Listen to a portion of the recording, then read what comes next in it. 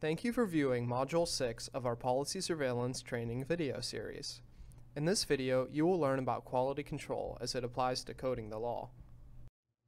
By the end of this video, you should learn how to perform quality control on original coding, to define redundant coding, to define statistical quality control, and finally, you should learn how to do a final quality control check.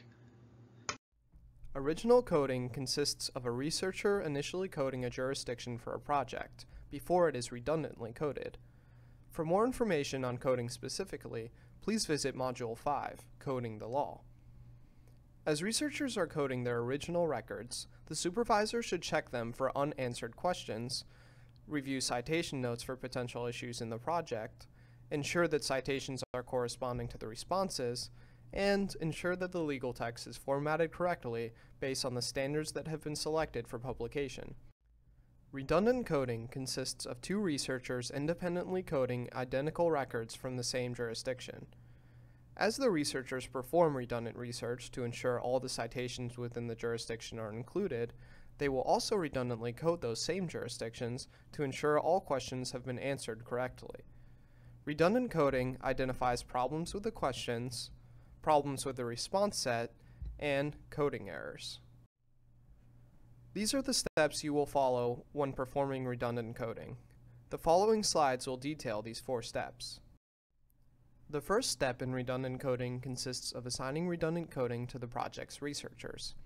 100% of jurisdictions should be redundantly coded until the rate of divergence between researchers goes below 5%. Then, the researcher can reduce the rate of redundant coding to 20% of jurisdictions. For example, if there are 50 jurisdictions being studied in a cross-sectional project, with batches of 10 jurisdictions at a time being assigned, the first 10 jurisdictions should all have redundant coding. If the rate of divergence for that batch is below 5%, then only two of the following 10 jurisdictions should have redundant coding. For a longitudinal project, redundant research is performed on a set percentage of total iterations for that batch. So, when the rate of divergence is above 5% and a batch of 10 jurisdictions has an average of 5 iterations per jurisdiction, then all 50 iterations must be redundantly coded. However, if the rate of divergence goes under 5%, then 10 iterations must be redundantly coded. The second step in redundant coding consists of both researchers coding their records. As researchers code the same jurisdiction, they will overlap on some responses, but will diverge on other responses. The objective is to identify which responses were divergent and to resolve those divergences. Once both researchers have coded their records, the supervisor should compare their responses to determine which responses were divergent. The supervisor can then calculate the rate of divergence between researchers to determine at what rate future records should be redundantly coded. For more information on calculating the rate of divergence, please see our supporting document, Calculating the Rate of Divergence. In addition, supervisors should record those divergences on a coding review sheet, which is a document allowing researchers to explain their coding decisions in the case of a divergence. For an example and template of a coding review sheet, please visit the related resources under Module 6, Quality Control. To calculate the rate of divergence, the supervisor divides the total number of divergences in each batch of coding by the total number of coded variables. This can be done using formulas in Microsoft Excel. Once the divergence rates have been calculated, the supervisor should review the redundant coding using a coding review sheet. The supervisor should record every divergence, error, and outstanding caution note in the coding review sheet. Once complete, the coding review sheet is sent to the researchers so that they can address these issues. Once the overall rate of divergence has been calculated, the next step is to classify the errors in the data. Generally, divergences will fall into one of two categories, objective errors or interpretive errors.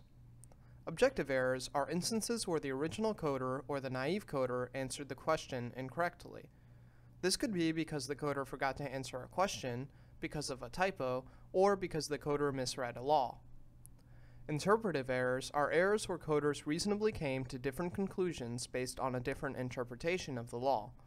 This could happen if two coders defined a key term differently or if the coding scheme is not yet well defined. When there are objective errors in a project, those errors should be recoded. If a researcher is frequently making objective errors, additional training may be necessary. When there are interpretive errors in a project, there are several potential resolutions. Questions can be modified when an unclear question is frequently causing interpretive errors. Additional laws can be collected if they clarify an issue that is causing a divergence. And finally, additional responses can be added to avoid similar issues. When a decision has been made about how to interpret a question or responses, it should be recorded in the research protocol document. For more information on the research protocol, please see Module 7, Publication and Dissemination.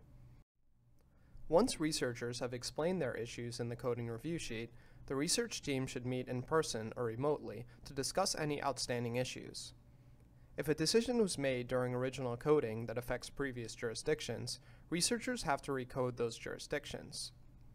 Conducting quality control on a rolling basis as research is being performed, in batches of 10 jurisdictions at a time for example, allows early issues to be rectified before the entirety of a project's research is complete. This also serves to educate the researchers on the complexities of the project, so that later research is facilitated. Initially, there should be a great deal of discussion in quality control, and as divergences are addressed, it should become faster and more efficient. Statistical quality control aims to provide a reliability rate for the overall dataset. By testing a new round of coding against the final coding of the dataset, a reliability rate for the entire dataset can be established.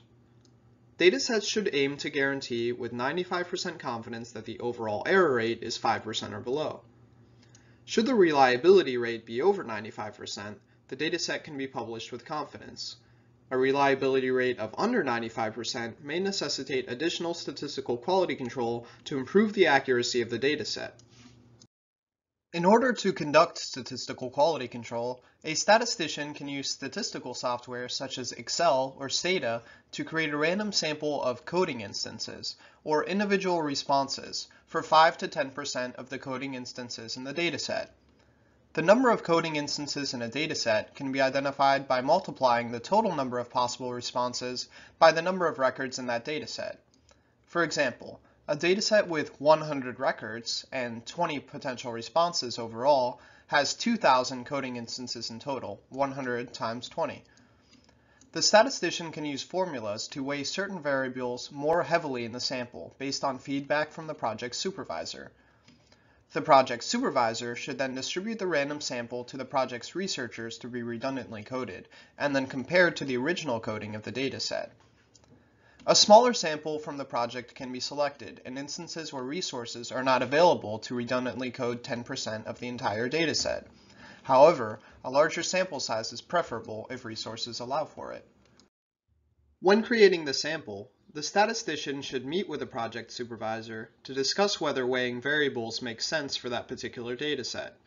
For example, if the supervisor found that certain variables were leading to high divergence rates throughout the redundant coding, she may decide to weigh those variables more heavily in SQC.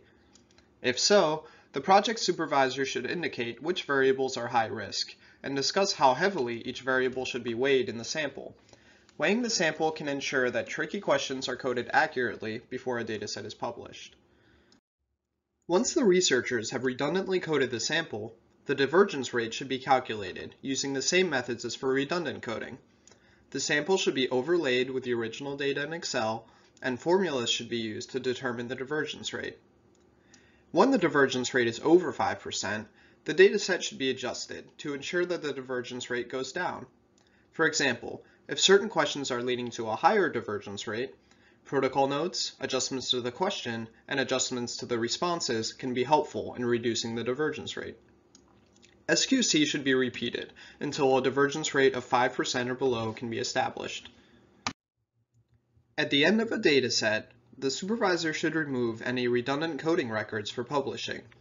The supervisor should also do a final pass of all the project data to identify any outstanding issues, including any questions that were not answered, outlier responses, missing citations, or inconsistent caution notes. Here you will find a summary of what we have covered on quality control for coding. To learn more about conducting policy surveillance, please visit the Learning Library at lawatlas.org to access additional modules and resources, including Module 7, Publication and Dissemination. Thank you for watching.